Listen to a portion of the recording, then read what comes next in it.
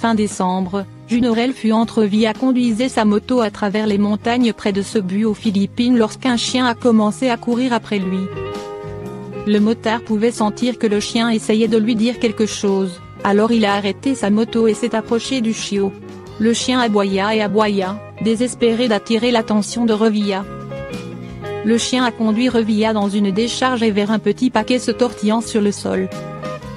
À la surprise de Revilla, il a trouvé un bébé enveloppé dans une serviette marron, a déclaré Barita, membre du personnel de Hope Force Tray, au dodo.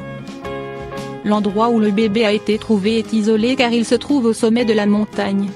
Revilla a ramassé le nouveau-né et a conduit le bébé au poste de police le plus proche. Grâce à la réflexion rapide du chien, le bébé a été retrouvé juste à temps et était toujours en bonne santé. Où le département de la protection sociale est intervenu. Lorsque l'histoire de l'héroïsme du chien errant s'est répandue dans la presse locale, des volontaires du sauvetage Hope Force Très se sont précipités dans les montagnes dans l'espoir de trouver le chiot utile. Au lieu de cela, ils sont tombés sur un homme qui affirmait que le chien, nommé Blackie, lui appartenait. Il nous a montré le chemin de sa maison et à notre grande surprise, Blackie était là avec trois autres chiens, a déclaré Ibarita.